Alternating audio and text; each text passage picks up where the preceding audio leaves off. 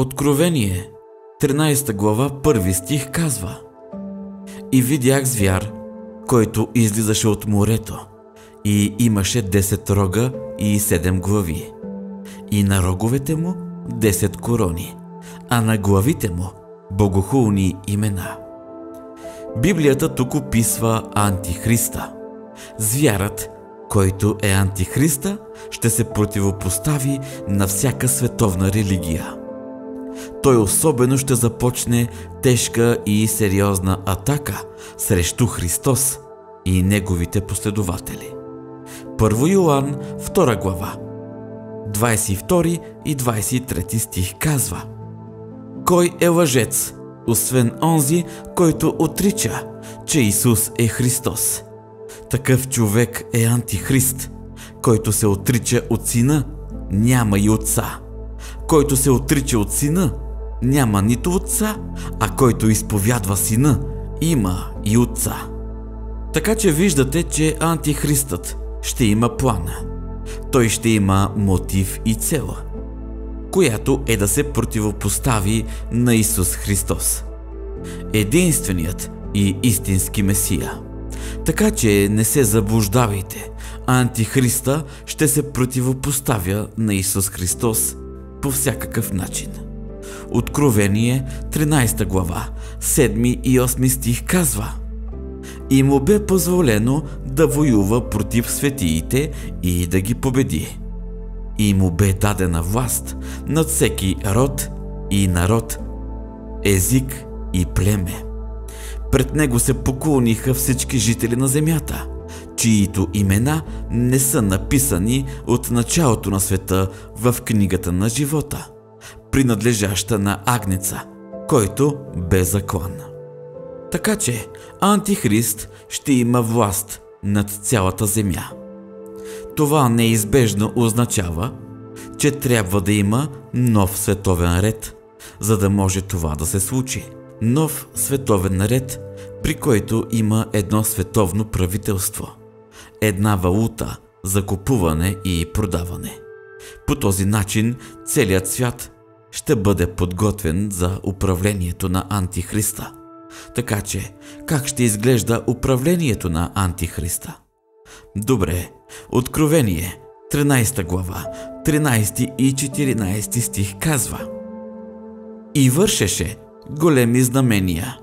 Дори предизвика и огън да слиза от небето на земята, пред човеците. Той мамеше живеещите на земята, чрез знаменията, които му беше позволено да извърши пред звяра като казваше на живеещите на земята да направят образ на звяра, който беше ранен от меча и оздравя. Антихристът ще може да извършва сатанински знамения и чудеса. И аз твърдо вярвам, че Бог ще позволи на дявола да извършва необикновени знамения и чудеса, като начин за изпитване на хората. Представете си колко хора ще бъдат изумени при вида на някой, който кара огън да слиза от небето до земята. Колко много хора биха се страхували от този антихрист заради знаменията и чудесата. Вижте, Библията ни каза да изпитваме духовете, защото не всяко знамение и чудо е за слава на Бога. Дяволът знае, че хората обичат да виждат невероятни знамения и чудеса.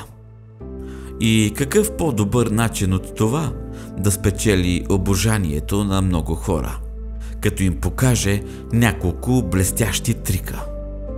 Ето защо ние като вярващи никога не трябва да приемаме веднага всяко знамение и чудо, което виждаме, но първо да поискаме разбиране от Святия Дух. Дяволът имитира, за да измами. И Библията ясно ни казва, че антихристът ще има способността да извършва знамения и чудеса. Така че запитайте се, лесно ли се поддавам на чудесата? Ще ръкопляскам ли и веднага ли ще се радвам, когато видя чудо? Или ще спра за момент и ще се моля Бог да ми открие. Спрете за момент и се запитайте. Кой получава слава от това знамение и чудо? Дали е за слава на Бога или е за слава на човека? Изпитвайте духовете. Светът се променя и съм сигурен, че всеки забелязва това. Има промяна в обществото, в политиката и видовете закони, които се приемат. Всички тези промени се приравняват към някаква част от библейските пророчества.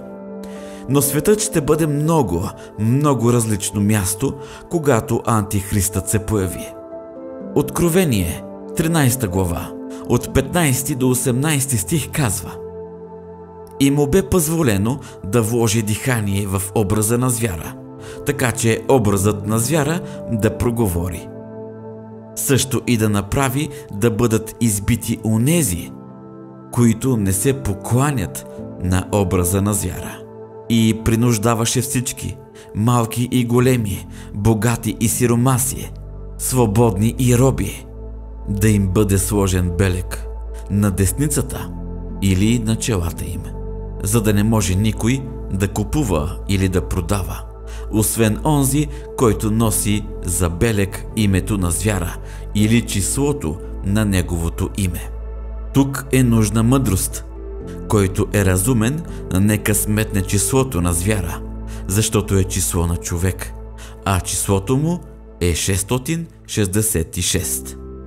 Антихристът ще създаде свят, при който, ако не му се преклоним и боготворим, ще бъдем убити. Той ще направи така, че ако не приемем неговият белек, няма да можем да купуваме и да продаваме. Хората ще бъдат принудени да се преклонят пред управлението на Антихриста или да платят цената с живота си. И за това днес Словото, което споделям с вас, е слово за предупреждение и насърчение. Лука, 21 глава, стих 36 казва Но бъдете бдителни във всяко време и се молете, за да успеете да избегнете всичко, което предстои да стане и да застанете пред човешкият син. Като християни, ние трябва да сме на штрека по всяко време – трябва да сме внимателни и готови за идването на Христос. Живейте живот, който е угоден на Господа, така че да можете да избегнете всички тези неща, които предстоят да се случат. С вашата свободна воля насърчавам ви да изберете Исус Христос. Изберете да следвате Исус. Прегърнете светоста живейте живот в подчинение на Божието Слово. Приятелството със света означава връжда с Бог. Всеки, който избере да бъде приятел на света, става враг на Бог. Така че не бъдете приятел на света, но бъдете верен последовател на Исус Христос. Бъдете лоялен последовател на Бога и Той ще ви защитава пази и спаси.